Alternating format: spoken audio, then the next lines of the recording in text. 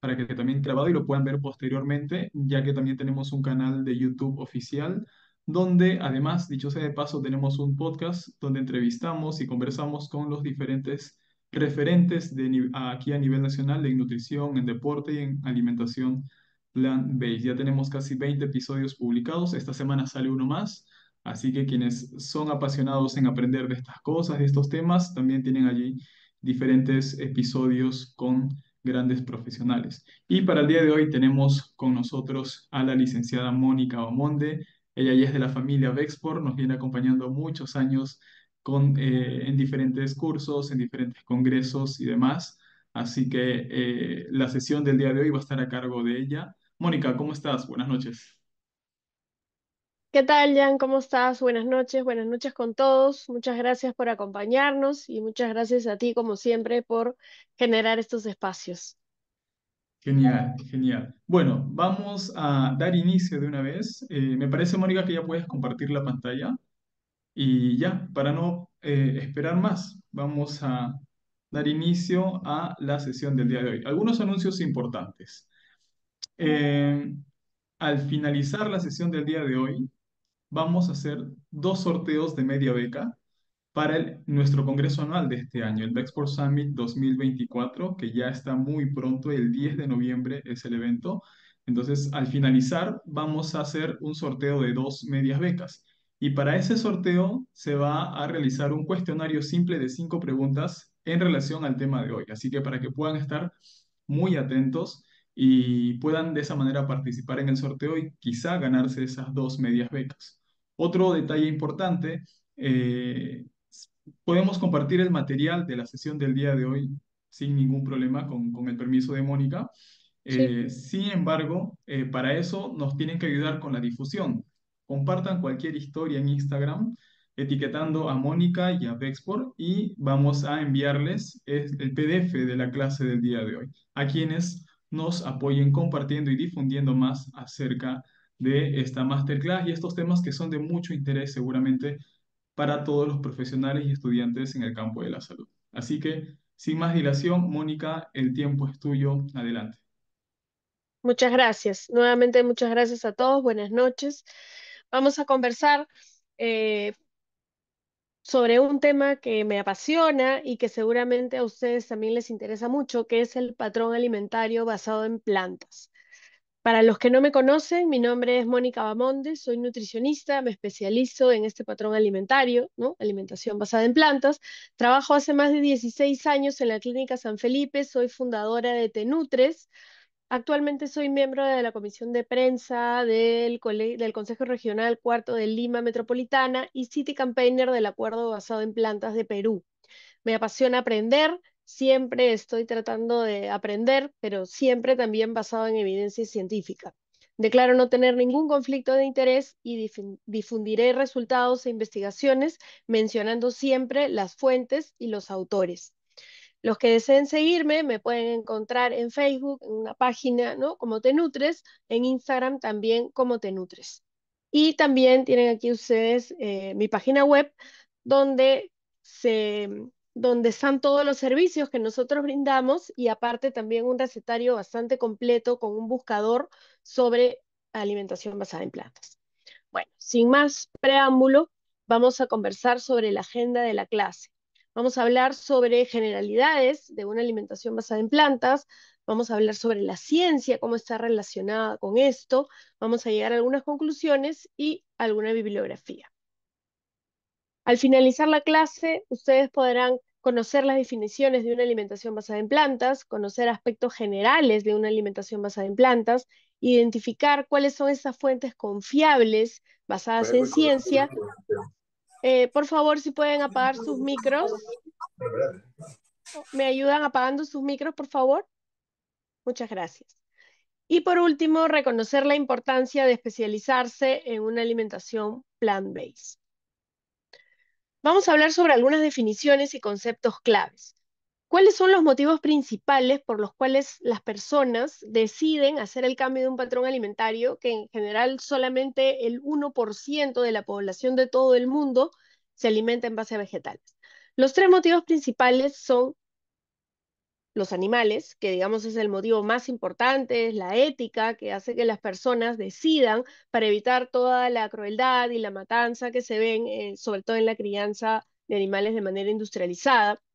El tema de la sostenibilidad es algo que ya no, no queda ninguna duda, ¿no? Cómo eh, los gases que eliminan, el, sobre todo el ganado vacuno, generan pues un aumento en los gases de efecto invernadero, aumentan toda la huella hídrica también por todo el tema de la producción de los, de los productos animales de consumo humano.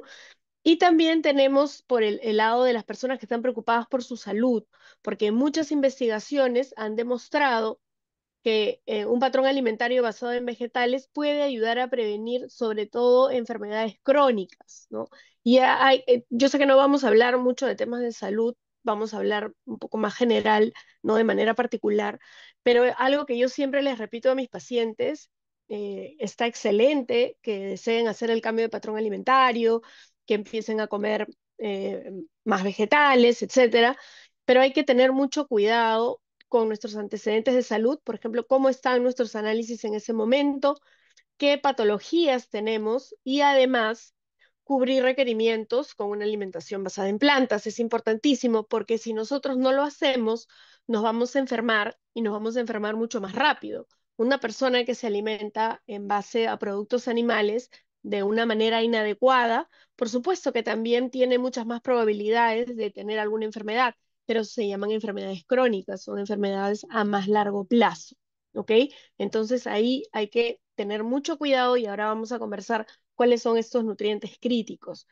Entonces tenemos que las motivaciones pueden ser salud, protección al planeta, evitar ¿no? la crueldad contra los animales, y pongo entre signo de interrogación el tema de, el tema de la mejora en el rendimiento en el deporte, porque hemos visto, sí, que después, sobre todo de este documental de Game Changers, Cambio Radical, muchas personas se interesaron por esto. Eh, si bien una persona que es vegana, vegetariana, plant-based, puede rendir de, de la misma manera que una persona que es omnívora, tenemos que tener mucho cuidado en aseverar o dar por sentado que va a tener un mejor rendimiento si es plant-based, ¿no? Todavía los estudios eh, son ambiguos con respecto a esto.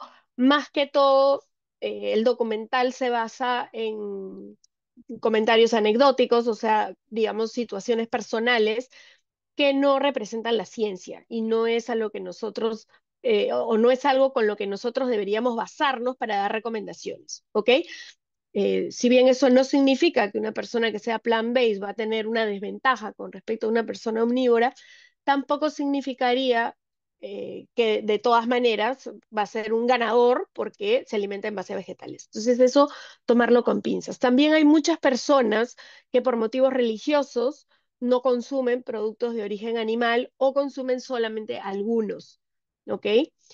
Eh, estos son los motivos, digamos, más clásicos, más importantes y valederos por los cuales una persona desea hacer la transición. Existen algunos otros que no necesariamente son idóneos y, tampoco se mantienen en el tiempo. Como van a ver ustedes, muchos, muchas personas conocidas que empiezan, no, soy vegano, etcétera, pero de repente en el tiempo eh, salen diciendo que ya no, porque se enferman, etcétera, y eso tiene que ver porque no han, no se han asesorado correctamente o no han consumido la cantidad de alimentos vegetales adecuados que, que se requieren para poder cubrir esos requerimientos.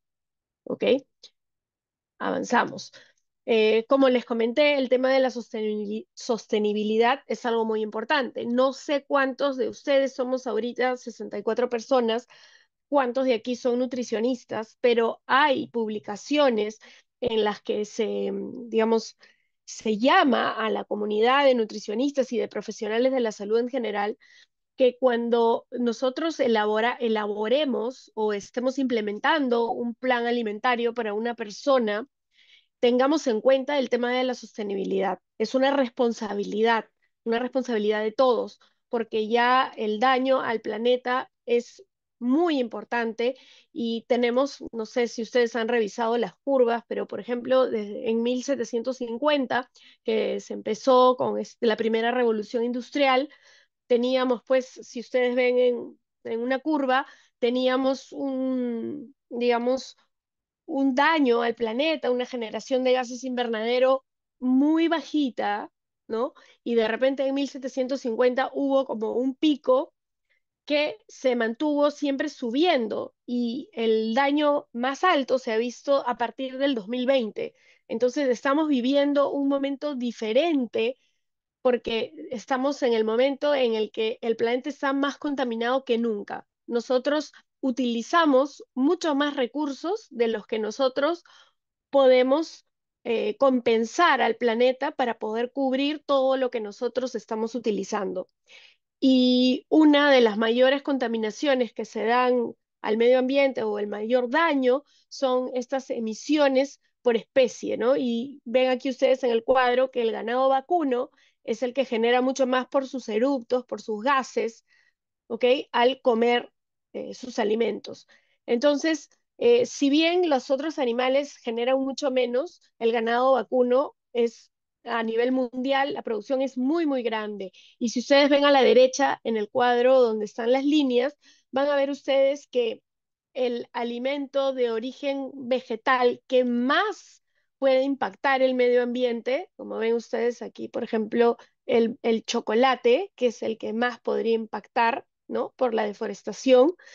Eh, con la carne de vaca, pues es muchísima la diferencia, ¿no? Y la carne de cordero, los camarones, o sea, son muchos más los alimentos en general de origen animal que contaminan el, el medio ambiente. Tenemos aquí el tofu, por ejemplo, ¿no? Es una proteína vegetal que tiene un, es el mayor impacto dentro de los vegetales, digamos, de las menestras, pero tiene el menor impacto versus cualquier producto de origen animal. Y eso es bien importante que nosotros tengamos en cuenta para elaborar los planes alimentarios, no solamente de las personas que se alimentan en, en, en base vegetales, sino también las personas omnívoras y empezar a tratar de hacerlos probar, porque cuando las personas escuchan tofu o hummus tempe, soya texturizada, es como, ¿qué es eso? No, qué horrible. Hay recetas maravillosas y es más, la comida peruana se puede veganizar.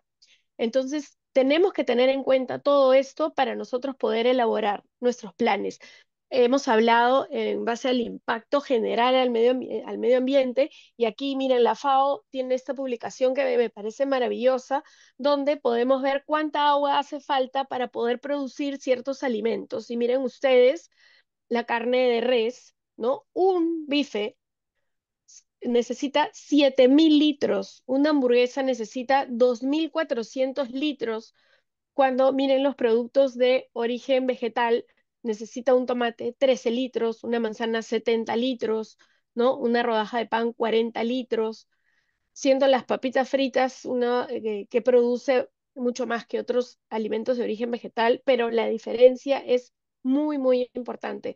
Revisen ese, eh, digamos, esa publicación, es muy importante y se llama Agua para Alimentos y está aquí eh, como todos van a compartir, les va a llegar la presentación y ahí van a tener la referencia. Vamos a definir los patrones, eh, digamos las personas más que los patrones, porque el patrón es alimentación basada en plantas, pero las diferentes posturas de las personas, como por ejemplo el vegano o 100% vegetariano, que no consume ningún alimento de origen eh, animal, ¿no? Ni carne, y a veces, y pongo pescado porque a veces hay confusión, y no sé si alguno aquí es, es vegano, y por ejemplo, cuando uno tiene que comentarlo por X motivo, y te dicen que ni pescado, como si el pescado no fuera un animal, ¿no? Por eso lo he separado. Y eh, ninguna carne, no huevo, no lácteos y no miel. ¿No? Y esto va mucho más allá, como sabemos, de la alimentación, porque es una postura que se considera política, ética o filosófica, donde el, principal motivo suele ser evitar la crueldad animal, la matanza de animales. Tenemos a los ovo-lacto-api vegetarianos, que son los que eh, no consumen carne, pescado, pero podrían consumir huevos, lácteos y miel, ovo-vegetarianos que podrían consumir huevo, lacto-vegetarianos que podrían consumir lácteos, veganos son aquellos que tampoco consumen, ¿no? Igual que un vegano, pero que eh, solamente consumen alimentos que han sido cocidos máximo hasta 42 grados. ¿Y por qué, dirán Mónica, por qué 42 grados? Porque 42 grados son supuestamente el grado más alto con el que el sol calienta la Tierra. ¿Ok? Eh, tenemos los flexitarianos, que en realidad es un término un poco ambiguo, donde las personas podrían de vez en cuando consumir eh, de repente pollo, ¿no? Orgánico, a veces pescado, huevos o lácteos, o sea, va a depender mucho de la persona, pero eh, así se autodenominan, ¿no? Yo soy flexitariano porque de repente de lunes a jueves o a viernes no como animales, pero el fin de semana porque me invitan a algún sitio o porque he viajado, consumo. Eh, pesco vegetariano, como les comentaba, ¿no? Algunas personas se autodenominan así porque eh, a veces comen pescado. Las personas eh, entre flexitarianas, pesco-vegetarianas, lo hacen un poco más por salud. Entonces se preocupan mucho de que sean alimentos orgánicos, que, que de comer bastantes ensaladas, evitar los ultraprocesados, etc. Las nuevas definiciones que ya actualmente cada vez más vemos en los estudios, alimentación basada en plantas, alimentación basada en plantas integrales, también lo vamos a ver. ¿Por qué? Porque aquí lo que se trata de reforzar es que no sean alimentos envasados, ¿no? No sean productos industrializados, sino comer lo más natural posible. Y eh, digamos que ahí la preocupación también sería la alimentación. ¿Podrían apagar sus micros, por favor? Muchas gracias. Y plant-based forward es como en inglés se denomina a los flexitarianos. Aquí un poquito para entrar al detalle de lo que es la alimentación basada en plantas. Y es más, si ustedes lo googlean y buscan en revistas científicas, van a encontrar hasta publicaciones que piden detallar esto, o sea, que piden estandarizar entre todos los profesionales de la salud a qué nos referimos, porque desgraciadamente ustedes van a ver en los estudios que cuando se implementan los planes o las cosas que se les va, o los alimentos que se les va a dar de comer a los sujetos de estudio, hay mucha diferencia, lo cual origina complicaciones para poder comparar los estudios entre sí, ¿no? Los resultados de los estudios. Entonces hay algunas publicaciones que lanzan, ¿no? O proponen algunos cuestionarios eh, que deberían utilizarse para los sujetos de estudio y poder estandarizarlos. Y a mí me parece genial porque desgraciadamente se usan muchos animales para poder hacer los estudios, porque los animales los pueden encerrar, les pueden dar lo mismo, no, no tienen que tener otras actividades, o sea, digamos que están en un ambiente totalmente controlado. En cambio, hacer investigaciones con humanos es bastante complicado porque no podemos encerrar a los humanos, eh, evitar cualquier otro factor externo que pueda influir en los resultados, ¿no? Entonces, eh, la idea actualmente y lo que se sugiere es estandarizar esto. A mí me parece muy importante porque desgraciadamente cuando uno ve los estudios, eh, a veces consideran la alimentación basada en plantas, por ejemplo, desde 70% incluyen algo de huevos o lácteos o de repente algo de pescado o de repente en algunas publicaciones alimentación basada en plantas es al 100% es un poco ambiguo todavía y estamos esperando la publicación de la ADA, que ya este, tocaría, ¿no? Para actualizar sus recomendaciones anteriores. Pero lo que sí eh, debemos tener en cuenta, y es bien importante, es que la alimentación basada en alimentos vegetales debe incluir frutas, verduras, cereales integrales, frutos secos, semillas, legumbres o menestras, y ahí a lo que íbamos, ¿no? Poco o pocos o ningún producto de origen animal y eso hay que revisarlo bastante bien en los protocolos ¿no? del, del estudio que estamos revisando. Tenemos esta publicación que está bastante relacionada con el tema de la sostenibilidad. Eh, por favor, por favor, sus micros.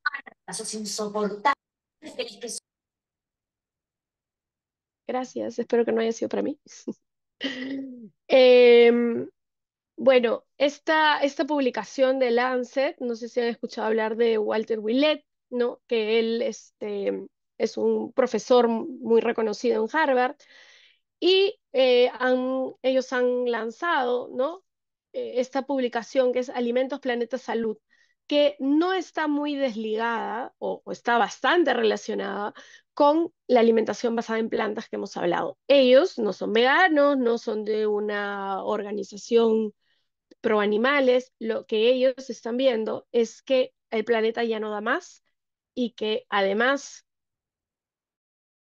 eh, valga la redundancia, que estos alimentos vegetales no solamente al producirse van a dañar mucho menos el planeta, sino que también van a promover efectos en la salud o beneficios en la salud de las personas que implementan este patrón.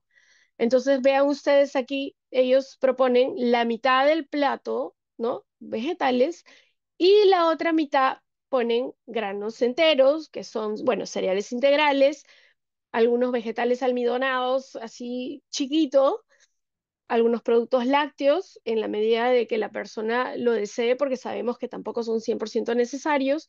Proteína de origen animal también, ¿no? No es indispensable en el caso de que la persona lo desee. Mucho más, miren ustedes, muchas más proteínas de origen vegetal, aceites vegetales, ¿no? Insaturados, una buena cantidad, y azúcares añadidos, una muy pequeña cantidad también.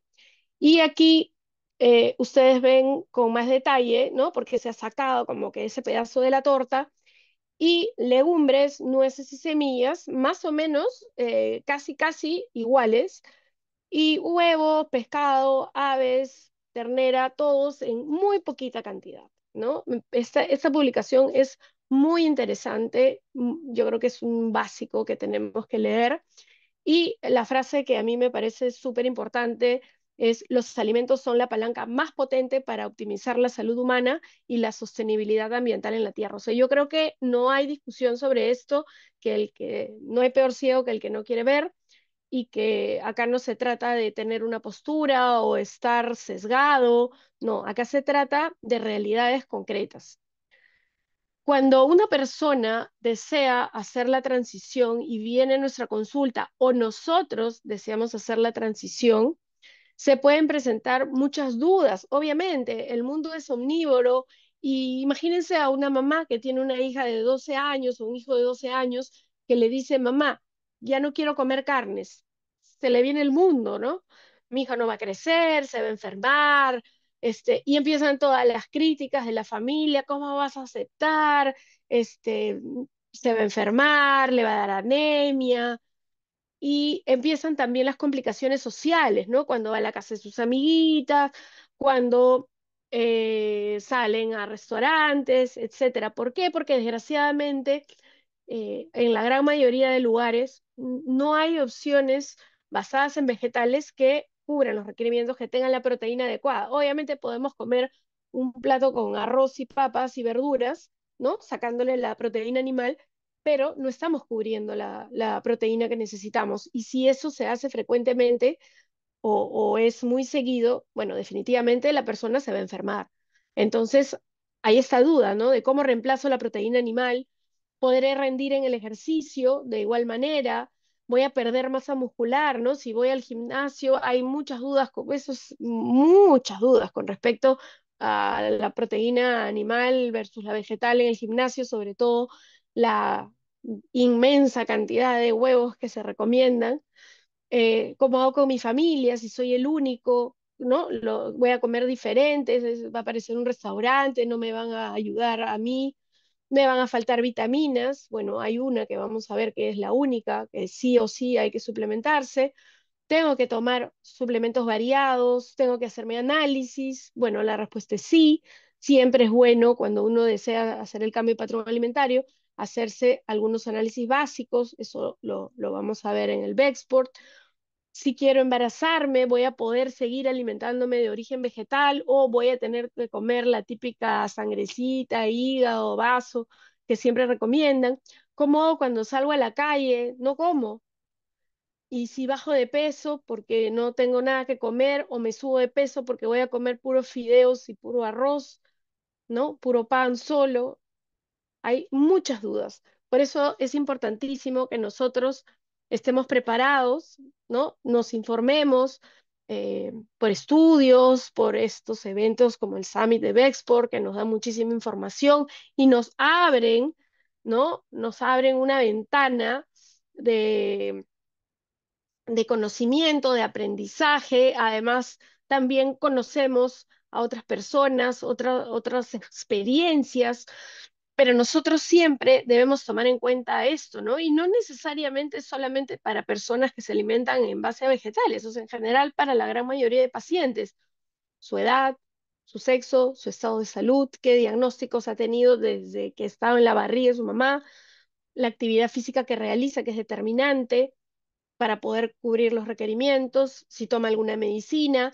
eh, hay algunas medicinas que interfieren, por ejemplo, con la B12, qué suplementos toma, a qué hora los toma, cómo se alimenta, cuáles son sus hábitos, cuántas veces come al día, eh, si hace meriendas, no hace meriendas, si en la cena come igual que en el almuerzo o solamente eh, come alguna merienda, pica algo o repite el desayuno, eh, cuánto come versus lo que necesita, informarlo y saber si está tomando en cuenta, si es sobre todo una persona plant-based, si sabes sobre los antinutrientes, cómo inhibirlos, cuáles son estos inhibidores, cuáles son estos potenciadores que van a hacer que absorban mucho mejor los, los nutrientes de los alimentos que está comiendo, si hay algunas combinaciones de alimentos que deberíamos recomendarle. Y así, etcétera, etcétera, de cosas que nosotros debemos aprender para tomar en cuenta tenemos que conocer también cuáles son estos sitios o lugares de absorción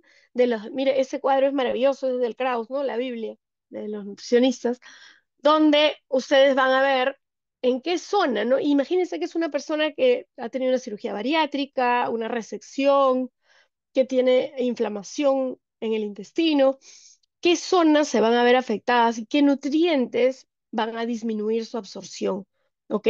Aquí tenemos que tener mucha, mucho cuidado en hacer las preguntas precisas, en poder identificar y en conocer cuáles son estos lugares del intestino que puedan estar afectados y que podrían disminuir la absorción. Entonces, ya hemos hablado de, algunos, eh, de algunas situaciones que tenemos que tener en cuenta y también la suplementación por las mayores dosis, ¿no? Sabemos que hay algunos minerales que compiten entre sí y deberíamos alejar la toma, algunos alimentos que compiten también con la absorción de algunos nutrientes.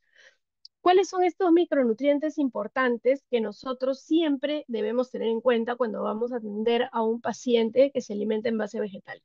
La vitamina D, son muy poquitos alimentos que tienen vitamina D y en una alimentación basada en plantas, ninguno lo tiene. ¿no? El cuerpo tiene la capacidad a partir de colesterol de producir esta vitamina y nosotros tenemos que conocer cómo aconsejar al paciente para que pueda producir la cantidad de vitamina D que necesita. Y si no, saber también cuál es la dosis que le tenemos que dar en base a un análisis, si está, digamos, eh, normal, su dosis de mantenimiento, y si no, una dosis de carga adecuada sin pasarnos el upper limit o el límite permitido, porque acuérdense que es una liposoluble. La B12, importantísima, no negociable, en todos los tipos de patrones que vimos, ¿no? Vegano, vegetariano, pesetariano, flexitariano, o sea, personas que no consumen diariamente ningún tipo de carne, ¿no? El huevo no es eh, fuente de vitamina B12 que deberían consumir un suplemento. Debemos conocer cómo debe ser ese suplemento, la dosis de acuerdo a la edad, etcétera. Hay muchos aspectos y también lo vamos a ver allá en el Bexport. El hierro, importantísimo. Eh, además, en deporte hay algunas situaciones en las que el hierro baja aún más. Eh, si es en el caso de una mujer, por ejemplo, con un ovario poliquístico, una endometriosis, el tema se acentúa, las pérdidas son mayores y hay que tener cuidado y enseñarle a potenciar la absorción del hierro que consume y las cantidades. Acuérdense que las personas que nos alimentamos en base a vegetales debemos comer más, ¿ok? Eh, el yodo, cómo debemos cubrirlo, qué tipos de sal, ¿no? Son las que tienen yodo y que son las necesarias, cuánto deberíamos comer, el calcio, que es otro nutriente muy digamos, que genera mucha controversia en una alimentación basada en plantas, ¿no? Como el, el calcio, el hierro, la proteína, quizás son los tres que generan más temor. Eh, cuál es la realidad y la verdad sobre el calcio, de cuánto calcio se necesita, eh, cuáles son las fuentes principales de vegetales. Y hay muchos mitos con respecto a algunos vegetales que se considera como la espinaca, por ejemplo, ¿no? que es muy nutritiva, etcétera, cuando sabemos que no lo es cómo debemos cubrir el zinc, que es un nutriente que no se toma mucho en cuenta, al igual que el selenio, ¿no? Nadie está muy preocupado en cómo cubrir su zinc y su selenio cuando son nutrientes muy, muy importantes que también se pueden cubrir en una alimentación basada en plantas, teniendo en cuenta algunos alimentos a incluir. Y por supuesto el omega 3, Pero igual micro... tiempo. Gracias. El omega 3 que es un nutriente que también está muy relacionado con el consumo de pescado, ¿no? De carne oscura, pero que también se puede cubrir perfectamente con alimentos de origen vegetal, teniendo en cuenta algunos temas importantes como cómo debemos moler, por ejemplo, la linaza, cómo debemos almacenar el aceite, y justamente a mí me va a tocar el, ¿no? O, o yo voy a exponer sobre el omega 3. Eh, no hay una sola manera, porque esto es algo que muchos pacientes me preguntan, ¿no? ¿Cómo debo hacer mi transición? Y en realidad la transición se debe adecuar a cada paciente y a cómo ha sido su alimentación previa, ¿no? Pacientes que nunca han comido, o sea, que no comen casi nunca verduras, nada de menestras, en realidad por su salud gástrica, porque les puede generar muchos gases, hay que tratar de hacerlo un poco más gradual con la fibra y más con verduras cocidas, ¿no? Y esas cositas que las vamos a ver también cómo hacerla en la ponencia de cómo hacer la transición. Pero esto se debe adecuar a cada paciente de la misma manera que un plan alimentario se adecua a cada persona. ¿Cuáles son los beneficios que nosotros podemos obtener cuando nos alimentamos en base a plantas? Porque al principio siempre hay mucho temor, pero nosotros eh, tenemos que saber también cuáles son los beneficios, porque si nosotros por ética deseamos dejar de consumir carnes, está perfecto, pero eso no debe estar desligado de nuestra salud, porque si nosotros nos enfermamos, se nos cae el pelo, estamos débiles, tenemos anemia, etcétera, etcétera, eh, no vamos a poder seguir, porque y no vamos a ayudar a ningún animal, no vamos a ayudar al planeta estando enfermos. Entonces, conocer los beneficios al cubrir los requerimientos es bien importante. Podemos reducir nuestro riesgo de enfermedades crónicas, como les comenté al inicio, si nosotros eh, consumimos una gran cantidad de fibra, ¿no? Podemos mejorar o aumentar nuestra saciedad y si tenemos algún exceso de grasa corporal, podemos disminuirla. La salud cardiovascular se ve muy beneficiada porque disminuye el colesterol LDL, que es conocido como el malo, y mejora la presión arterial, que también eso va ligado con el mantenimiento de un peso saludable. El primer beneficio que se observa cuando uno se alimenta en base a vegetales es la mejora eh, o disminución del estreñimiento, ¿no? Eso es, digamos, el primer beneficio que se observa cuando uno empieza a comer eh, basado en plantas. Y en un año ya vamos a ver un cambio total de nuestra microbiota y una microbiota mucho más variada, eh, mucho más saludable, ¿no? Con, digamos, con unas especies de bacterias que generan beneficios a la salud. Todo lo contrario pasa con una gran cantidad de bacterias proteolíticas que son las que proliferan cuando uno se alimenta en base a altas cantidades de proteína animal. Eh, hay muchos antioxidantes. Bueno, ninguna pastilla nos va a dar estos antioxidantes vivos que nos dan los vegetales eh, que nosotros podemos consumir, ¿no? Eso no hay discusión, yo creo que nadie lo puede negar, que las verduras generan pues muchos beneficios a la salud por estos antioxidantes y a los antioxidantes lo que hacen es lo último, ¿no? Evitan el envejecimiento. Es como cuando ustedes tienen un objeto de metal y se oxida y está viejo y ya no sirve, bueno, igual nosotros nos oxidamos y estos vegetales con todos sus lindos colores nos brindan estos antioxidantes que nos ayudan a evitar el envejecimiento y en general promueven la salud. Bueno, vamos a hablar ahora un poquito sobre ciencia. Creo que ya me estoy eh, pasando un poquito de la hora, pero eh, dónde podemos encontrar información basada en ciencia, porque en Internet vamos a encontrar muchísima data. Desgraciadamente, mm, la gran mayoría no es la mejor.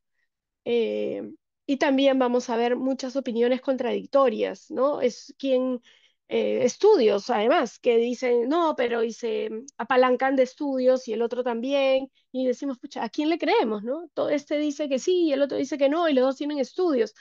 Bueno, lo importante es que nosotros aprendamos a leer los estudios porque cada uno, si no, va a interpretar el estudio como mejor le conviene para la postura que quiere dar.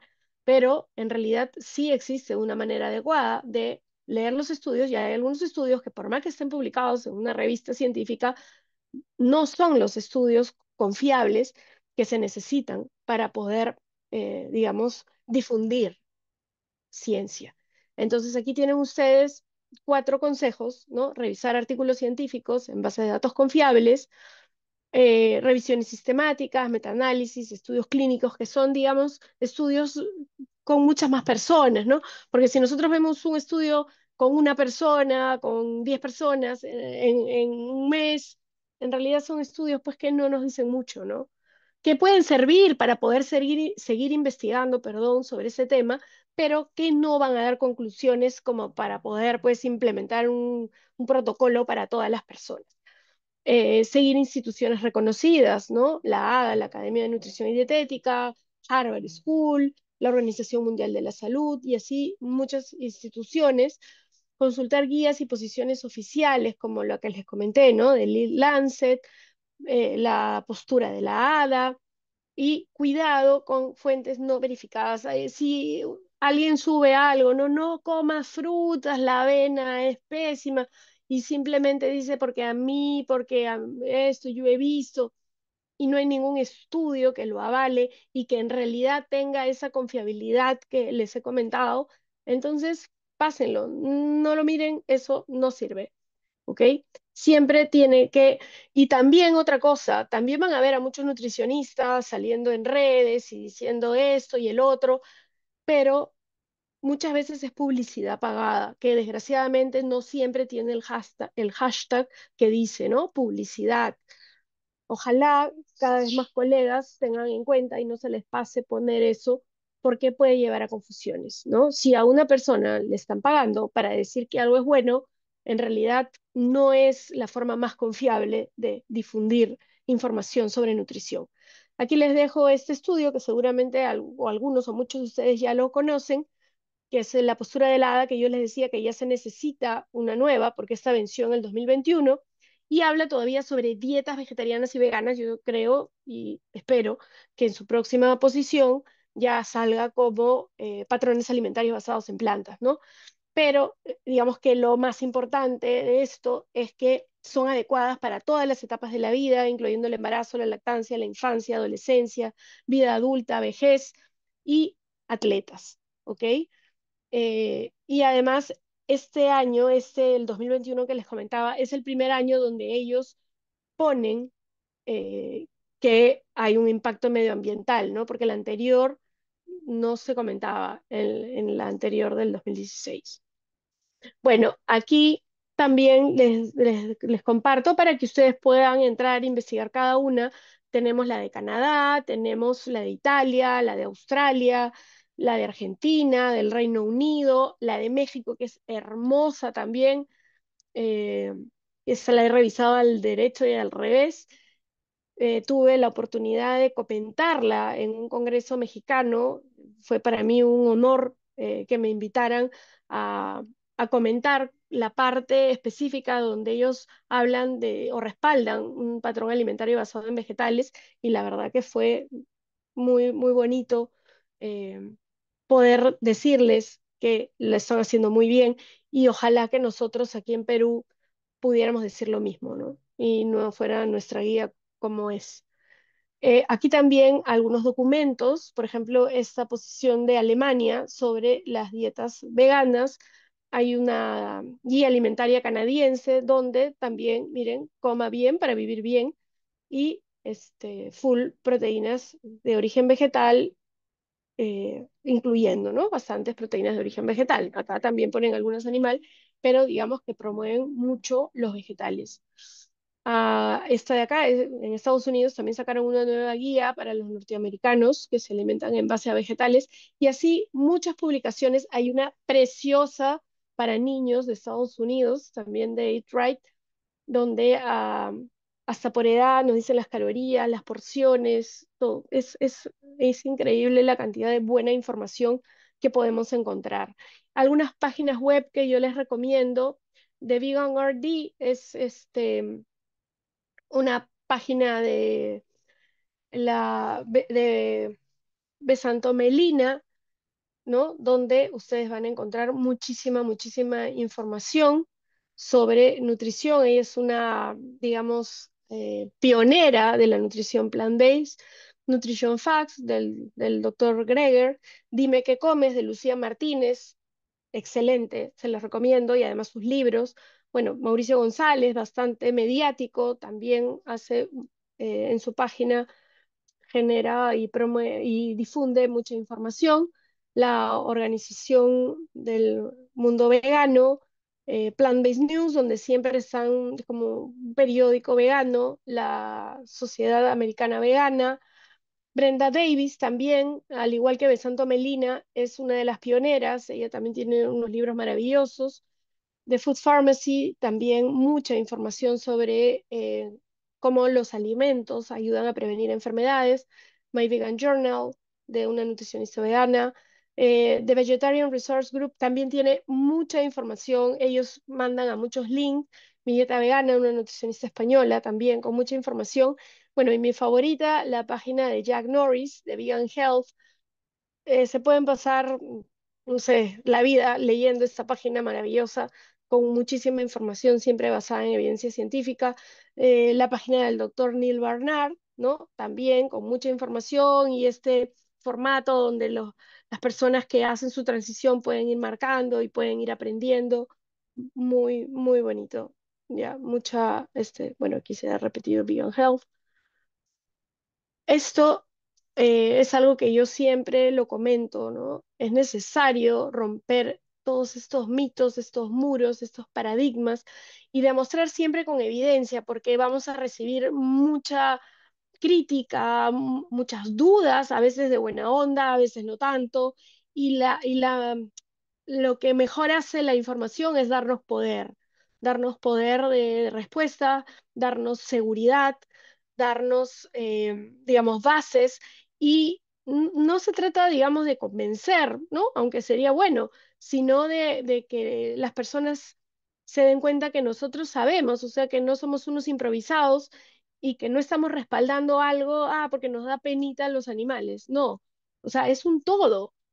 ¿Cómo podemos nosotros desechar o, despreciar o minimizar a un patrón alimentario que no solo va a salvar vidas, o sea, que, que va a salvar a los animales de lo único que tienen en este mundo, sino que también va a ayudarnos a prevenir enfermedades y va a salvar a nuestro planeta. O sea, en realidad es algo increíble que seamos solamente el 1% de las personas en el mundo que, que defendamos esta postura, ¿no? Eh, esto está aumentando. Ah, su. Espero que no haya sido para mí, que se le haya prendido el micro. Pero bueno, todo, de todo hay y eh, que puede prevenir eh, diversas enfermedades y no solamente prevenir, sino también tratamiento, porque por ejemplo en las enfermedades renales no hay una pastilla para la enfermedad renal. Lo único que va a frenar el deterioro del riñón de un paciente para evitar que pase a diálisis son los alimentos. Y el plado, que es el, digamos, el patrón que se está ahorita recomendando como norma, como protocolo, es basado en plantas. ¿ok? Y por supuesto, de la mano con la protección del planeta, que es la única casa que nosotros tenemos. ¿Por qué eh, sugerimos que las personas se especialicen en esa área? ¿Por qué? Porque es importante que nosotros como profesionales cada vez eh, nos empapemos más de este tema, que estemos más involucrados, porque hay más interés de los alumnos, si somos profesores, ¿no? De los lectores, si escribimos, y de los pacientes, si es que nosotros atendemos en consulta. Entonces, esto es algo que está subiendo, porque en las currículas de las universidades la información es muy breve e incompleta. Bueno, actualmente lo sé por lo que me comentan mis pacientes o los alumnos que conozco, pero en mi época estaba, no sé, era media clase de, en la parte cuando estudiamos patologías. Entonces, totalmente incompleto y es importantísimo que los profesionales nos actualicemos por la necesidad que comentábamos en el primer punto, por todos los beneficios en salud que nosotros le vamos a dar a nuestros pacientes, ¿no? Vamos a prevenir y vamos a tratar sus enfermedades, por la sostenibilidad, porque estamos siendo responsables al implementar estos planes alimentarios eh, basados en vegetales, porque los negocios, porque ustedes creen, no voy a decir nombres, pero que, por ejemplo, marcas tan conocidas de, lácteos, que toda la vida han vendido lácteos y ahora venden leche de soya, leche de almendras, o algunas marcas de, por ejemplo, extranjeras sobre todo, ¿no? Marcas de hamburguesas veganas que en la bolsa son las que más cotizan. ¿Por qué? ¿No? Es importante que estemos actualizados. En el deporte, ¿no? Y si tú te especializas en deporte, que es un área bastante específica que yo la verdad la admiro, eh, cada vez más atletas quieren saber, quieren aprender, quieren probar y de repente quieren mantenerlo. Entonces, es muy importante que nosotros estemos actualizados, ¿no? Incluso en los Juegos Olímpicos de París vimos la gran cantidad de opciones basadas en plantas que se ofrecieron dentro del menú de los atletas. Aquí les comparto algo de la bibliografía para la presentación de hoy. ¿No? Aquí lo que les comentaba de Santo Melina, Brenda Davis, ellas, ellas juntas tienen libros como el Becoming Vegan, que es muy, muy completo, y aparte tienen libros por su cuenta. Muchas gracias, muchas gracias. Ahí está el código de mi Instagram para los que deseen comentarme algo, eh, tienen alguna duda. Yo feliz de responderles. Muchas gracias y no sé si desean poner en el chat o no sé, eh, Jan, si pueden abrir sus micros para uh, sí, hacer vamos, alguna pregunta. Sí, vamos a dar unos eh, 8 minutos o 10 minutos dependiendo de las preguntas que, que tengan los participantes. Eh, podemos hacer las preguntas al chat si gustan, queridos amigos, o si no, también pueden activar su micrófono y ordenadamente hacer las preguntas que eh, tengan eh, en consideración sobre esta temática.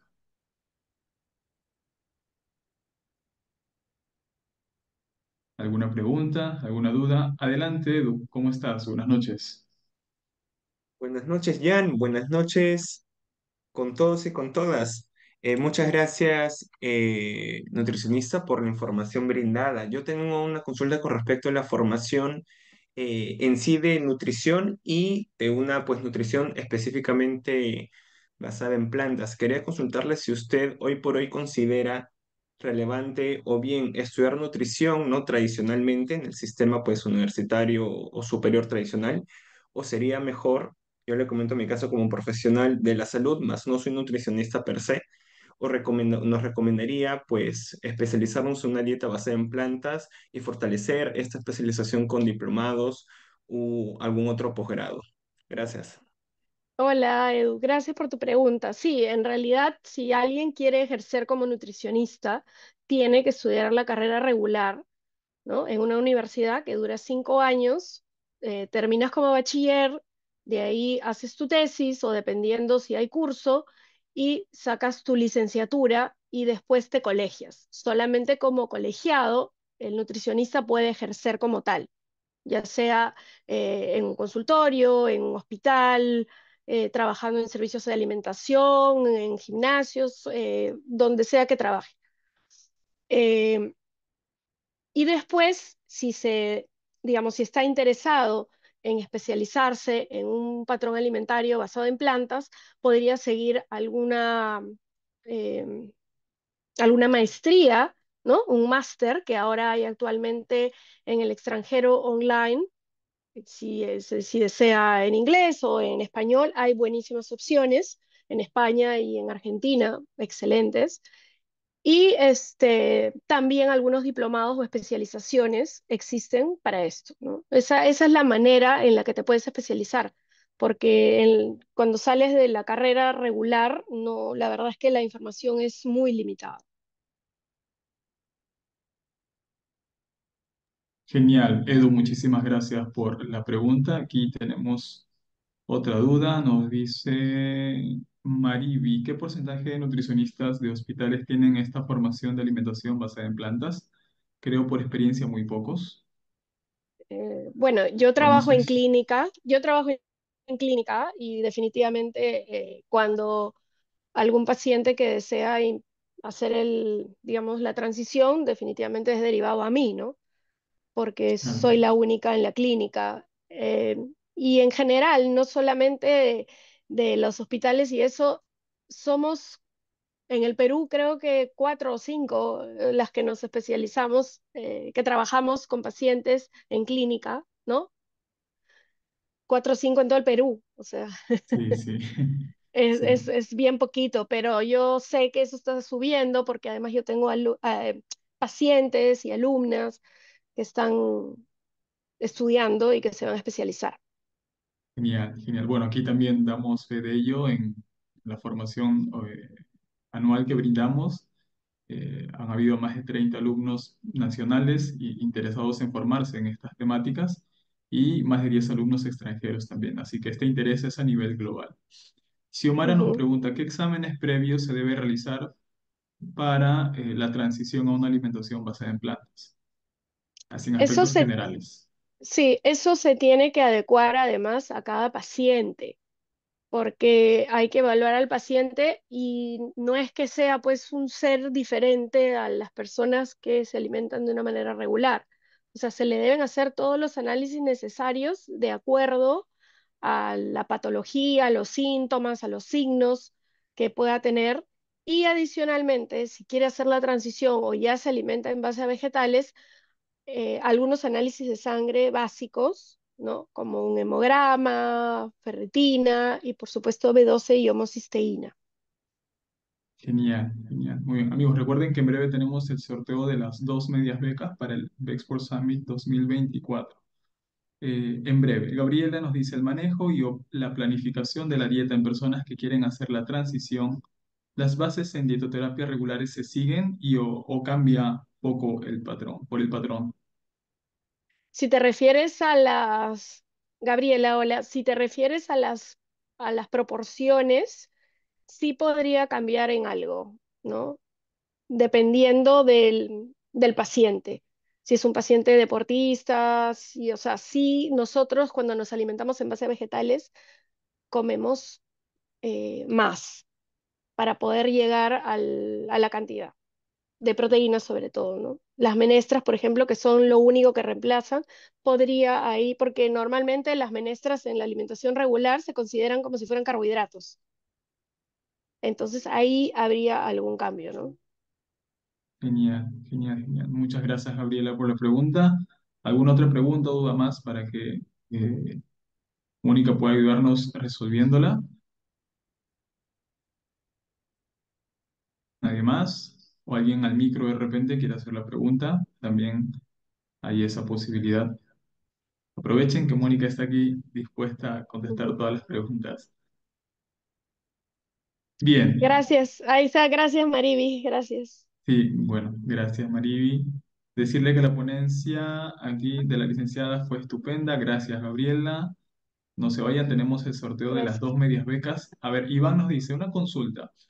Esta es ya la última pregunta. Nos dice, al menos en la parte universitaria la información es escasa acerca de alimentación basada en plantas, pero las formas más recomendadas de garantizar un correcto aporte de proteína vegetal, ¿cuál sería? Dice. La, sería ir al Bexport. Ahí van a aprender con mucho detalle. Pero sí, lo único que, y eso siempre lo digo, ¿no? El único alimento que reemplaza a la proteína de origen animal es la proteína de origen vegetal de las menestras. Es la, es la, es el único alimento. Entonces, los, las personas tienen que comer entre dos o tres veces al día megu- menestras o legumbres para poder cubrir el requerimiento. Eso.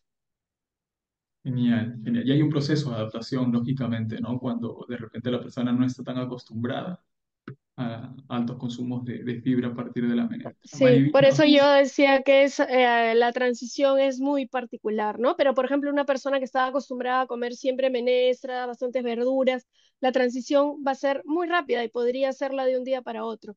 La quinoa es un pseudo cereal, no es un- una menestra. Muy bien. Bueno, aquí la última pregunta, Hernán. ¿Alguna recomendación para un atleta de alto rendimiento para hacer la transición a una dieta basada en plantas? Bueno, aplica lo mismo, creo, ¿no? Estudiar el caso y individualizar. Y asesorarse con un especialista. Y ahí te recomiendo Jan. En deporte y alimentación basada en plantas es el mejor. Genial, gracias. Muy bien. Bueno, la última, Xiomara, no queremos dejar tu pregunta sin contestar. Dice, ¿cómo se puede incluir alimentos como seitán, soya en pacientes veganos? se in- ¿qué es, qué es el reemplazo? O sea, y te pongo un ejemplo, ¿no? Haces un, no sé, un estofado y en lugar de ponerle pollo o carne, le pones soya texturizada y ya está. Genial, genial. Muy bien, Mónica, muchísimas gracias. Ha sido una excelente presentación. Ya ahí los, los alumnos, los colegas eh, están agradecidos por esta masterclass. Y bueno, eh, algo de repente para finalizar que quieras compartir. Eh, comentarles que es importantísimo tener información. ¿Por qué? Porque se van a dar con muchas negativas y sobre todo si tú eres nutricionista y quieres implementar un plan y tienes a un médico que está en contra y que lo que recomienda es sangrecita, hígado, ¿no? En- ahí lo que más te va a ayudar es tener las bases científicas para poder rebatir, debatir y sustentar tu postura con una de una manera, digamos, profesional, ¿no? Y em, sustentada. Excelente, excelente. Muchísimas gracias, Mónica. Quédate con nosotros ahí para el sorteo. Eh, el sorteo va a ser, queridos amigos, en base a la presentación de esta noche. Se han seleccionado seis preguntas y se va a hacer por la aplicación de Kahoot. Ahí Fabián en, en breves minutos nos va a explicar y va a presentar la pantalla. Pero antes de eso quería compartirles algo muy importante. Y yo tengo una pregunta para cada uno de ustedes. Es la siguiente. ¿Qué porcentaje de egresados y o profesionales de la salud crees que desconocen cómo prescribir correctamente una alimentación basada en plantas? Los leo al chat. ¿Qué porcentaje de egresados y o profesionales de la salud crees que desconocen cómo prescribir correctamente una alimentación basada en plantas? A ver, Edu nos dice 90, 90, 95, 90, Estefan, Hernán 90, Antonella 99. Perla 90. ¿Más opiniones? Bueno, están en, en lo cierto, ya que más del 90% de egresados y o profesionales en el área de la salud desconocen cómo prescribir correctamente un plan de alimentación basado en plantas. Y esto es preocupante eh, y es necesario que hagamos ciertos cambios, que nos especialicemos, que nos capacitemos y demás. Ahora, otro dato importante que eh, considerar es que pese a toda la evidencia que hemos visto y Mónica nos ha compartido el día de hoy, es preocupante y alarmante que muchas universidades no incluyan, ¿no? en sus programas estos temas o si las incluyen de repente no estén actualizados, ¿no? Y esto genera una necesidad. Y es por eso que desde Bexport, hace ya cuatro años, eh, venimos compartiendo eh, diferentes espacios educativos por medio de cursos, por medio de talleres y también por medio de nuestro congreso anual, ¿no? que ya desde el 2021 venimos realizando estos congresos. El 2022 fue presencial, 2021 fue eh, online, fue después de la, en pandemia. Y el 2022 y 2023 fue una grata experiencia y este año estamos volviendo a realizar este congreso anual eh, específicamente en temas de alimentación plant-based, deporte, ciencia y salud. Será el domingo 10 de noviembre en el Hotel Sol de Oro aquí en Miraflores, Lima, Perú. Hemos aperturado también la eh, edición online para quienes están en el extranjero. También va a ser esa va a haber esa posibilidad. ¿Cuáles son las temáticas del Congreso de este año? Por un lado, nuestro eje principal es la alimentación plant-based, alimentación basada en plantas. Nuestro otro eje principal es la nutrición deportiva. También hemos incluido temas de medicina y salud con destacados médicos invitados a este congreso. Y algo que nos caracteriza ya desde el año pasado es que vamos a tener nuevamente un espacio de debate académico. Por ahí Mónica nos comentaba sobre el hierro y la sangrecita. Bueno, ya les adelanto eh, sobre qué más o menos se va a tratar el debate de este año. Quiero presentarles rápidamente a quienes eh, nos acompañarán en el evento de este año, los profesionales que estarán con cada uno de nosotros en este congreso. Y los temas. Mónica va a estar con nosotros por cuarto año consecutivo y este año tiene la conferencia sobre últimos avances del omega 3 y alimentación plant-based también eh, otra colega muy conocida, Antonella Equipa, nos va a estar acompañando con la conferencia de últimos avances del calcio y alimentación basada en plantas. Bueno, mi persona también estará dictando una conferencia sobre los últimos avances en la alimentación plant-based y en el campo, cómo se relaciona esto en el campo del fitness, ¿no? O de la estética corporal. Patricia Castañeda me parece que también está aquí acompañándonos en la reunión Estará también presente, es una de las referentes aquí a nivel nacional, eh, y estará con la conferencia sobre todo, eh, sobre la alimentación plant-based y la vitamina B12. Además, de manera estelar, por primera vez tendremos un invitado internacional y desde España, desde Europa, estará con nosotros Gonzalo Quesada, es un famoso divulgador científico allá eh, en España y estos últimos meses está muy presente en diferentes eventos, congresos por allá y este año estará con nosotros en, eh, aquí en Lima, Perú. Él tendrá a cargo dos conferencias, una de ellas es en defensa de la nutrición como ciencia, la otra conferencia que dictará es evidencia científica y los antinutrientes, entre comillas, que hay detrás de la ciencia de los antinutrientes. Y luego tendrá otra participación que ya les comentaré. Por la línea de la nutrición deportiva estará acompañándonos Katy Cántaro, reconocida nutricionista ISAC nivel 3 también aquí a nivel nacional. Ella eh, dictará la conferencia sobre biomarcadores en deportistas de alto rendimiento. También estará acompañándonos Henry Valladares, eh, reconocido divulgador y nutricionista deportivo y entrenador estará compartiéndonos la conferencia Entrenamiento e Hipertrofia, de la fisiología a la práctica. Así también estará con nosotros Diego Bernardi, reconocido nutricionista y especialista en culturismo natural. Él dictará la conferencia Culturismo Natural basada en evidencia científica.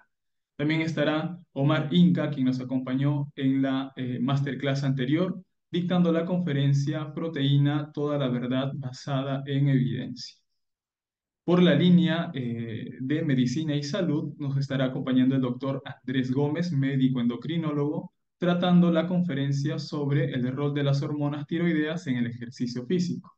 También estará acompañándonos el doctor Eric Piskulich, reconocido eh, médico cirujano eh, de la clínica Vendaño, con la conferencia Paciente bariátrico vegano, pre, intra y postoperatorio. ¿Cuál es el abordaje en estos casos? Y también de la línea de salud estará acompañándonos María Paz, nutricionista clínica, con esta conferencia que está, eh, muchos de los inscritos están esperando esta conferencia, ya que va a tratar sobre trastornos de la conducta alimentaria en el deporte y el fitness. Además de eso, vamos a tener el debate académico 2024. Yo quiero hacerles una pregunta en este caso. ¿Crees que los debates académicos ayudan a mejorar el conocimiento en nutrición. Los leo en el chat. ¿Cuál es la opción que ustedes eh, marcarían? ¿Crees que los debates académicos ayudan a mejorar el conocimiento en nutrición? Sí, A, sí ofrecen distintas perspectivas. B, sí es esencial para actualizarse. O la C, no estoy cómodo con lo que sé. Muy bien, aquí Jocelyn nos dice A, Edu B, e Isabel también B. Iván A. Lógicamente, la opción A y la opción B son las correctas, ya que los debates académicos eh, son fundamentales y claves para que podamos desarrollar el conocimiento en este campo de la nutrición. El ejercicio de dialéctica y conocimiento eh, en base a los debates académicos son ejercicios que se realizan y se desarrollan en las mejores universidades del mundo.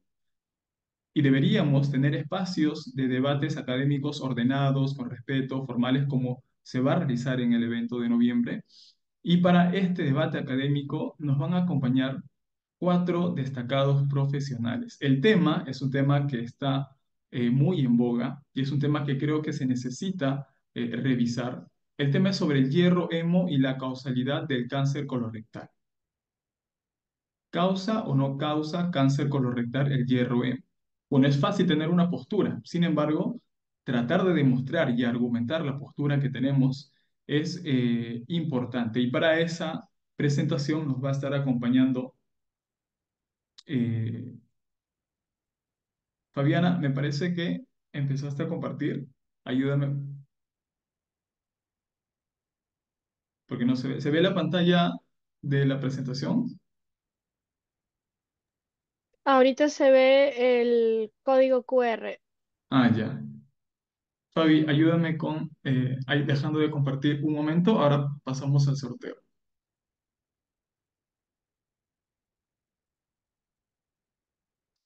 Hola Fabi, ¿estás por aquí? Ya está, muchas gracias. Ok. Listo. Eh, bien, el tema del debate académico de este año es hierro hemo y causalidad de cáncer colorectal. Vamos a tener dos mesas de debate, es decir, eh, por un lado van a estar acompañándonos eh, Gonzalo Quesada desde España eh, y Ricardo Alomía, nutricionista clínico con maestría en nutrición y dietética. Y en la mesa de enfrente estará también un gran amigo y colega, Andrés Anampa, reconocido nutricionista, catedrático universitario, defendiendo la postura también sobre esta temática, ¿no? Y quien va a estar acompañando a Andrés Anampa es el doctor Eric Piskulich. Entonces, este año tenemos el lujo de tener estos cuatro invitados eh, y desde ya eh, muy agradecido con cada uno de ellos y el respeto por eh, dar, regalarnos esta oportunidad de aprender bajo esta metodología de debate académico. Ahora, eso no es lo único, queridos amigos, colegas y demás. En el Dexport Summit 2024 tendremos la oportunidad de hacer networking profesional o preprofesional si eres estudiante.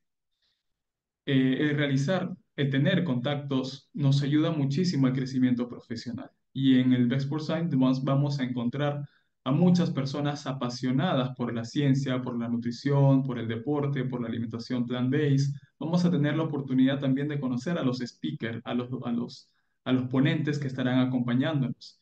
Y seguramente muchos colegas aquí, y Mónica nos, me darán la razón, las redes de contacto son fundamentales y claves para el desarrollo y crecimiento profesional.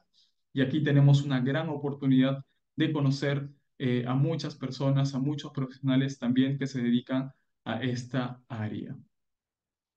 Y eso no es todo. Bueno, ya para pasar al sorteo, los partners académicos que nos acompañan eh, este año son el Instituto Internacional del Deporte y las Ciencias Aplicadas, Bexport es la primera institución aquí a nivel nacional en hacer un convenio con ICA de Argentina. También tenemos como eh, partner académico a la Asociación de Médicos del Deporte y Actividad Física y el Ejercicio aquí a nivel nacional y el eh, espacio o el departamento del comité académico del grupo Bexport como tal. Así que eh, vamos a en breve realizar el sorteo, pero antes yo quiero hacerles una pregunta. ¿Quiénes quisieran ser parte de este día único e irrepetible del 2024? Solamente las personas que respondan, yo, vamos a darles una gran oportunidad. A ver, quiero leerlos. ¿Quiénes quisieran ser parte de este día, de estas 14 conferencias, del debate académico, del networking, de, de conocer y de aprender mucho más Bien, Xiomara, excelente. Carelia, Gabriela, Sara, Benjamín, Jocelyn, Naye, Jenny, Edu, Kevin. Bien, 10 respuestas más y pasamos al sorteo. A ver, Yulisa, Cristian, Eloy, Valeria, Dante, Leonor, Adriana, Perla, Elizabeth, Marisol. Muy bien, muy bien. Entonces, antes de pasar al sorteo, en breve vamos a pasar al sorteo. Y recuerden que el sorteo va a ser en base a, lo, a la presentación de, eh, de la licenciada Mónica de esta noche, así que traten de recordar un poco sobre los temas que se ha tratado. Pero desde Vexport queremos premiar tu asistencia.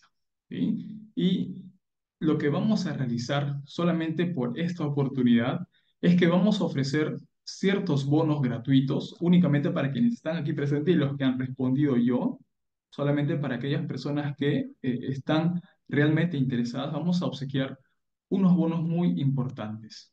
Estos bonos van a estar disponibles por 24 horas. El primer bono es una grabación de una clase premium de 3 horas sobre suplementación deportiva con eh, Albert Arrieta. Eh, él es, doctorando que está en Inglaterra, trabaja allá en el área de, fútbol profesional.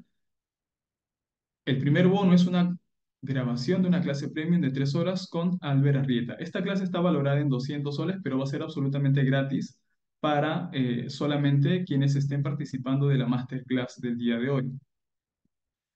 El bono 2, a quienes se inscriban al Vexport Summit 2024 de este año, es una guía científica completa de nutrición basada en plantas. Es un PDF de más de 400 páginas. Esto está valorado en 100, pero va a ser absolutamente gratis para todos quienes decidan eh, acceder a la participación del Summit de este año. Solamente quienes están participando de la reunión. También tenemos uh, el bono 3, es una grabación de un taller práctico de recetas prácticas plant-based con una referente aquí a nivel nacional, ¿no? Nutricionista, la nutricionista Antonella Equipa, unos 40 minutos de unas 3 o 4 recetas sobre eh, eh, recetas prácticas basadas en plantas, ¿no? Es el bono número 3, esto está valorado en 100, pero va a ser absolutamente gratis para quienes eh, decidan eh, estar presentes en el Bexport Summit 2024 este año. Y el bono número 4, bueno, en realidad decidimos ofrecerles algo muy, muy, de mucho valor y solamente para quienes estén realmente interesados, eh, como bono número 4 vamos a ofrecerle el acceso exclusivo a todas las conferencias y debates del Bexport Summit 2023. Todas estas presentaciones son exclusivas, están ocultas, pero para quienes decidan ingresar al Bexport Summit 2024 este año, únicamente a quienes están aquí participando, van a eh, ser acreedores de este bono número 4. Esto está valorado en 300 soles, pero va a ser absolutamente gratis para todos ustedes. Entonces, no solamente es lo único, sino que queremos premiar también, además de los bonos, la participación de ustedes con un descuento especial y exclusivo. Tenemos, eh, por un lado, a los profesionales o público general, el precio regular, la preventa, pero a los asistentes vamos a ofrecerle un precio del 20% de, un precio del 20 de descuento, sumado a los cuatro bonos que hemos comentado. ¿no? Y únicamente va a ser por 24 horas o a las 10 primeras personas que decidan ingresar al evento de este año. Van a tener este descuento y van a tener los bonos eh, que hemos comentado. ¿Cuáles son esos bonos? La grabación de la clase premium de suplementación deportiva, eh, la guía científica de alimentación vegetariana de más de 400 páginas, un, eh, el bono número 3, la grabación del taller de recetas prácticas, y el bono número 4, acceso exclusivo a las grabaciones y a las conferencias del Bexport Summit 2023, solamente por 24 horas o a las 10 primeras personas, junto al 20% de descuento. Entonces aquí, resumiendo, ya para pasar al sorteo, son cuatro bonos absolutamente gratis tienen un valor casi de 700, pero va a ser absolutamente gratis para quienes decidan eh, acceder eh, a las 10 primeras personas que decidan acceder en estos momentos. 20% de descuento y eso no es lo único. Realmente queremos que nos acompañen. Van a tener la posibilidad de acceder a un pago de dos partes. ¿no? Eh, ahí tienen la, la, imagen de quienes decidan ingresar como profesionales o público general, van a poder cancelar en dos partes, o estudiantes también vamos a darle la posibilidad de cancelar en dos partes, ahora y a fin de mes o dos semanas antes del evento. Así que realmente tienen esta oportunidad únicamente a las 10 primeras personas. Lo único que tienen que hacer es escribir al WhatsApp la palabra promoción masterclass, las 10 primeras personas que escriban la palabra promoción masterclass al WhatsApp de Bexport o también al Instagram lo que, lo que tengan a la mano, las 10 primeras personas van a acceder a estos cuatro bonos y a estos descuentos exclusivos o a estas facilidades de pago. ¿sí? Todos estos bonos, las facilidades de pago a las primeras personas que escriban y nos contacten por interno. Únicamente para quienes están aquí participando de la Masterclass 2024. ¿sí? Bien, vamos al sorteo. Eh, ahora sí, Fabi, acompáñame por favor, ayúdame compartiendo la pantalla. Vamos al sorteo. A ver.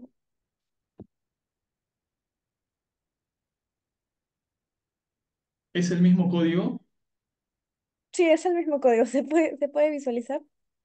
Genial. Bueno, pueden ingresar a kahoot.com, ya sea en el celular o en el laptop, donde estén. Ingresen este código o escaneen este QR para el sorteo de las dos medias becas al Bexport Summit 2024. Ya están llegando varios mensajes, así que ahí Fabiana va a estar eh, terminando el- la reunión contestando y solamente para las 10 primeras personas que han colocado eh, la palabra promoción Masterclass van a tener acceso a estos cuatro bonos y estos descuentos exclusivos o facilidades de pago, ¿sí? Eh, ya sea al Instagram o al WhatsApp. Eh, ¿listo, Fabiana? A ver, dame un segundo. Se siguen, siguen entrando personas al Kahoot. A. Ya, a ver, que ingresen. ¿Cómo va a ser? Eh, ¿quiénes se van a ganar estas dos medias becas? Los dos primeros puestos. Ustedes saben que en Kahoot posiciona al final un ranking y los... eh, bueno, es un ranking de tres, ¿no, Fabiana? Sí, es un ranking de tres. Ok, entonces a los dos primeros vamos a ofrecerles estas medias becas, dos medias becas, y al tercero un descuento exclusivo que ya le haremos llegar por interno. Así que, bueno, hay 24 personas que se están uniendo, 25. Vamos a esperar unos 15 segundos más y damos inicio al cuestionario de cinco preguntas, seis me parece, ¿no, Fabiana? Sí, seis preguntas. Ok, listo. Empezamos en 20 segundos. Sí, porque se siguen, se siguen uniendo. Hay una capacidad, me parece. De 40 personas Bueno, aproximadamente. solamente las primeras 40 personas. Llevamos 30.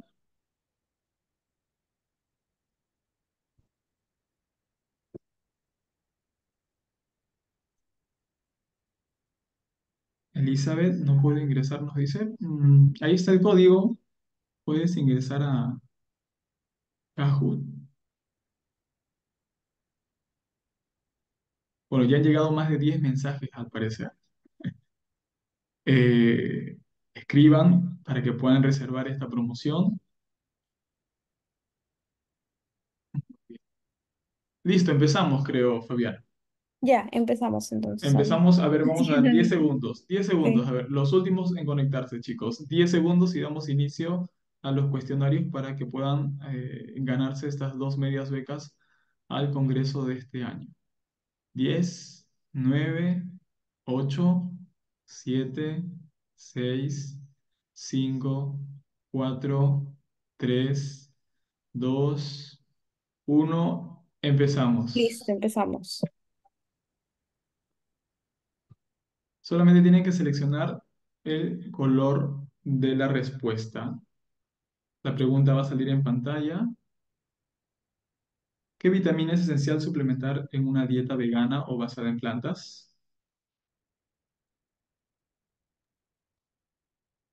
14 segundos, 13. No, no, la respuesta, Jenny, es en la aplicación. 4 segundos, 3. Muy bien.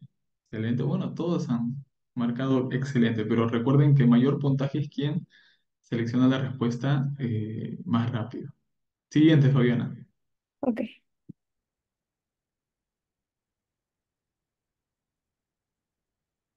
Bueno, tenemos el resultado eh, momentáneo. Cristian, Valeria y Edu están en los primeros lugares. Según el plato del buen comer, este debe estar constituido en un 50% por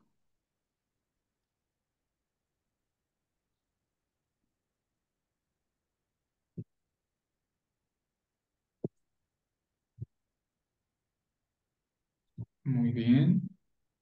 Fabiana, ¿me leyendo las preguntas, por favor? Sí. Eh, ahorita han respondido 22 personas de manera correcta. Verduras y o frutas era la, la respuesta correcta. Vamos a ver quiénes han quedado entre los primeros puestos. Queda Edu en primer puesto, Valeria Palacios y sigue en tercer puesto Adriana Arenas. La siguiente pregunta es, ¿una alimentación vegana excluye la miel de su alimentación? ¿Verdadero o falso?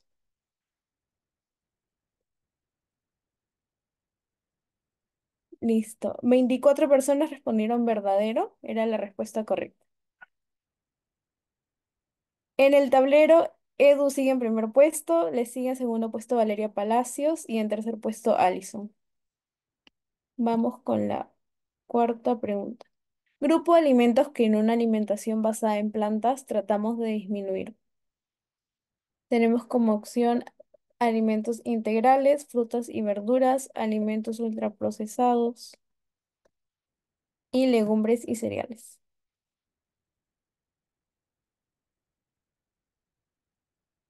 Cuatro segundos. Y la respuesta correcta era eh, alimentos ultraprocesados. Muy bien.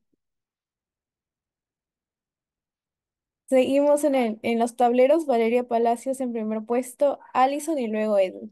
Bajaron a Edu. Sí, bajaron a Edu. ¿Cuál es el tema del debate académico 2024? Qué fácil.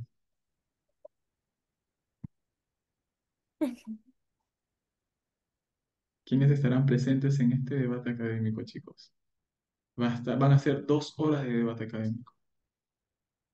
Justamente la próxima semana tengo una reunión con los cuatro eh, ponentes. Fabi, Sí, la respuesta correcta era hierro, M y causalidad de cáncer colorectal. Y solo cuatro personas han equivocado, así que vamos a ver ahora sí el tablero final.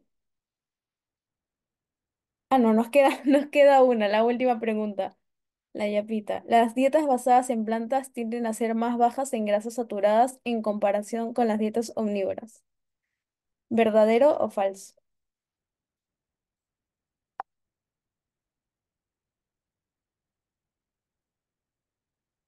Y la respuesta era verdadero.